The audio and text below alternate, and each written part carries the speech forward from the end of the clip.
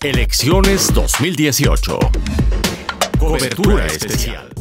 El candidato de la coalición Todos por México a la presidencia de la República, José Antonio Mid Curibreña, sostuvo que la ley no se negocia y el Estado no se rinde, y afirmó que donde hay policías comunitarios y autodefensas es porque no hay ni ley ni Estado. Sentenció que no se puede construir sobre un pacto de no agresión con los criminales, no se puede poner la vida de nuestros hijos en gente armada sin preparación.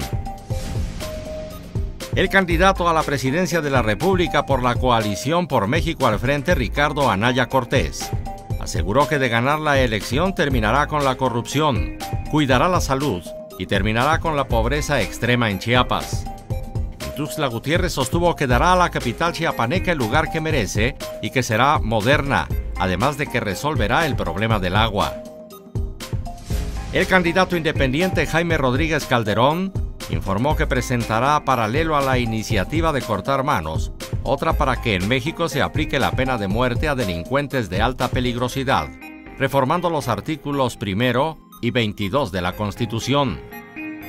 El Bronco consideró que hay que aplicarle la pena de muerte a los violadores, a quienes secuestren a una persona, pena de muerte al que mate a un policía en el ejercicio de su servicio, pena al asesino colectivo y al narcotraficante.